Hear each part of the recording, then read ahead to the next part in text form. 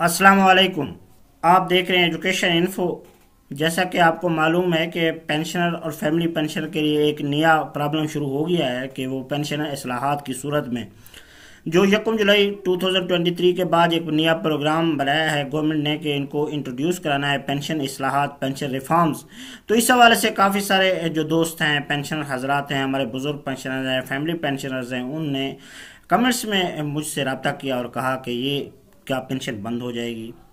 तो इस बुनियाद के ऊपर मैंने मुनासिब समझा कि आज आपको पूरी तफसीलात बताई जाए कि जिस, किस तरह ये आपकी पेंशन बंद नहीं होगी, आपको परेशान होने की ज़रूरत नहीं है। इनशाला उम्मीद करता हूँ आपको ये वीडियो पसंद आएगी। अगर ये वीडियो पसंद आ जाए तो चैनल को ज़रूर सब्सक्राइब कर लें।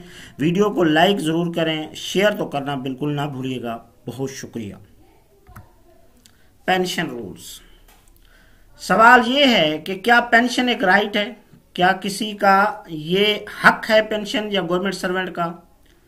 या इसको किसी कई सरकमस्टांसेस जिस तरह आजकल आए हुए हैं कि ये भी फिनेंशियल क्रंच आया हुआ है या क्या है, क्या इसको ख़त्म किया जा सकता है?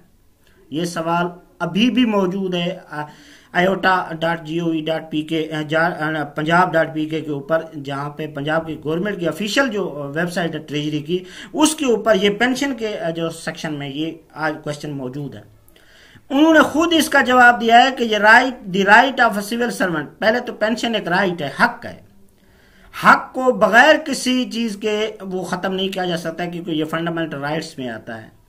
तो अगर ये पेंशन जो रिसीव करना है, ये ऐसा हक है जिसको कभी भी खत्म नहीं किया जा सकता। ये खुद पंजाब गवर्नमेंट ने अपने रूल के तहत उन्होंने कहा है कि सिविल सर्वेंट एक्ट का वहाँ से जो 18 सेक्शन है और यहाँ पर जो फेडरल में है, जो 19 सेक्शन है तो उनके तहत उन्होंने खुद इस चीज़ को क्लियर कर दिया कि पेंशन एक जो है वो नागजीर है। यानी ये बिल्कुल देनी ही देनी है। ऐसा नहीं हो सकता कि आप इसको रोक लें। ये तो बात क्लियर हो गई कि गवर्नमेंट ने खुद इसको डिफाइन किया हुआ है, अब इसका डिनाइल नहीं हो सकता। अब आ जाते हैं, मैं अक्सर औकात आपको कहता हूँ कि पेंशन क्यों नहीं रोकी जा सकती? मुलाजिम जब भी भर्ती होता है तो उसकी टर्म्स एंड कंडीशन है। पिछली कुछ वीडियोस में मैं कंटिन्यूसली इस बात के ऊपर ज़ोर दे रहा हूँ, इसकी वजूहत है। अगर ऐसी कोई चीज़ होती है तो उसको कोर्ट ऑफ़ लॉ में चैलेंज करना चाहिए। लोग चैलेंज भी करेंगे। ये जितने भी प्रेसिडेंट्स मैं आपको दे रहा हूँ, ये सारे आपके लिए वो बहुत फ़ायदेमंद है। अगर कोई ऐसा फैसला पहले तो नहीं होगा। अगर खुदा न ऐसा हो जाता है तो आप लोग इस चीज़ को ऊपर आप कर सकते हैं। सुप्रीम कोर्ट ने यहाँ पर डिसाइड किया था कि टर्म्स एंड कंडीशन जो इंप्लाइज की वो कभी चेंज ही नहीं की जा सकती। दो फैसले मौजूद हैं।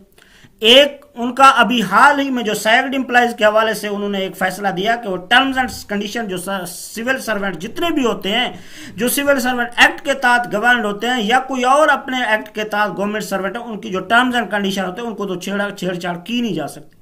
काफ़ी बहस मुबैसा हुआ। तो गवर्नमेंट जो सुप्रीम कोर्ट है, कोर्ट ने डिसीज़न दिया था कि गवर्नमेंट उस वक्त टर्म्स एंड कंडीशन को चेंज कर सकती है, लेकिन ऐसा नहीं है कि नुकसान दुखने के लिए। सिर्फ़ और सिर्फ़ उस सूरत में टर्म्स एंड कंडीशन को गवर्नमेंट चेंज कर सकती है या कोई चीज़ ऐसी चेंज कर सकती है जिसमें एम्प्लॉयज़ का बेनिफिट हो। एम्प्लॉयज़ के एडवर्स जो चीज़ें होती हैं, उसके खिलाफ टर्म्स एंड कंडीशन को चेंज नहीं किया जा सकता।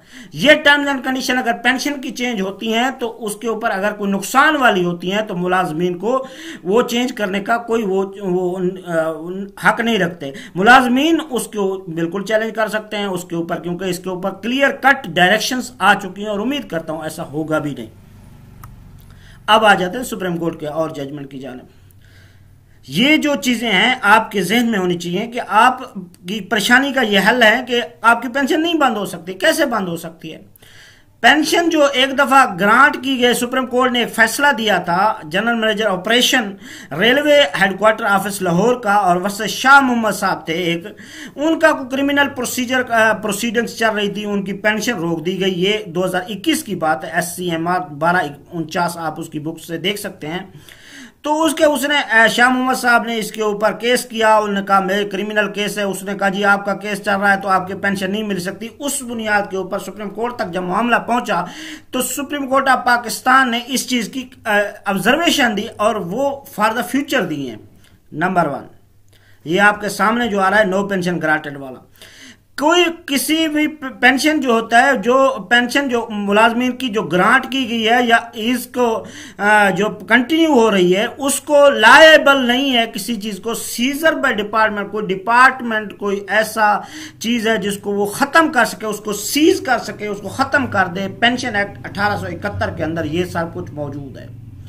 ये ये चीज़ें सुप्रीम कोर्ट ने उसने कहा कि अठारह सौ इकहत्तर का जो पेंशन एक्ट है, जिस तरह ये आप समझ रहे होंगे कि उन्नीस सौ सैंतालीस में तो पाकिस्तान बना, उसके बाद ये कुछ पहले रूल्स भी चल रहे हैं, जिस तरह पीपीसी चल रही है, जिस तरह सीआरपीसी चल रही है, सीपीसी चल रही है, ये काफ़ी सारे जो चीज़ें हैं वो चल रही होती हैं।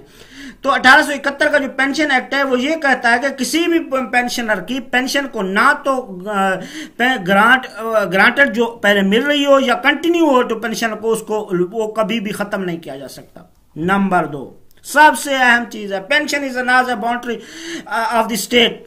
कि ये खैरात नहीं है स्टेट की तरफ़ से पेंशन ये कोई ऐसी चीज़ नहीं है कि किसी मुलाजिम को आ, मिल रही हो ऐसी चीज़ जिसमें वो ऐसा समझे कि वो उसको बंटी दे रही है। यानी खैरात वगैरह ऐसी जो उसको मतलब आपको कोई ऐसी चीज़ मिल रही है ऐसी नहीं है। उन्होंने कहा है is a right after putting जब मुलाजिम वो कह रहे हैं सुप्रीम कोर्ट ने ये बिल्कुल क्लियर बात की है कि ये वो राइट है जो मुलाजिम अपनी सर्विस को पूरा करके देता है, ना कि ये स्टेट की तरफ़ से कोई ऐसा तोहफा है।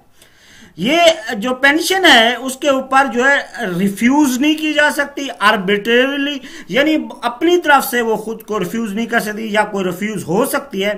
कोई भी रूल के तहत इसको जो पेंशन है वो कभी भी नहीं हो सकती, उसको किसी भी तरीके से उसको रोका नहीं जा सकता। ये जो आपके सामने आ गया है जो federation of Pakistan general manager operation railway के, ये उन्होंने कहा था कि ये पेंशन इसमें चार चीज़ें सेट हो गई। नंबर वन पेंशन ग्रांट और कंटिन्यू जो भी होगी वो खत्म नहीं की जा सकती डिपार्टमेंट नहीं कर सकता, उसका पेंशन एक्ट कहता है। नंबर दो, पेंशन एक कोई, एक तोहफा नहीं है मुलाजमीन के लिए, कोई खैरात नहीं है, ये स्टेट की तरफ़ से ये पेंशन उस उस लिए, उस ये वो राइट है जब मुलाजम उसकी सेटिस्फैक्ट्री का, जो सर्विस करता है, उसका जो मुआवजा उसे मिलता है और उसके बाद जो कोई भी आर्बिट्रेटरी यानी ऐसे लाज जो खुद ब खुद हो जाए एग्जेक्टिव की अथॉरिटी के ऊपर, उनके तहत किसी चीज़ को पेंशन को रोका नहीं जा सकता। इस बुनियाद के ऊपर मैं ये अक्सर औकात कहता हूँ कि जो मुलाजमीन पेंशनर हैं फैमिली पेंशन हैं, जिनकी पेंशन अभी जारी है तो वो जारी रहे रहेगी। अगर कोई ऐसा होता है तो उसको चैलेंज किया जाएगा।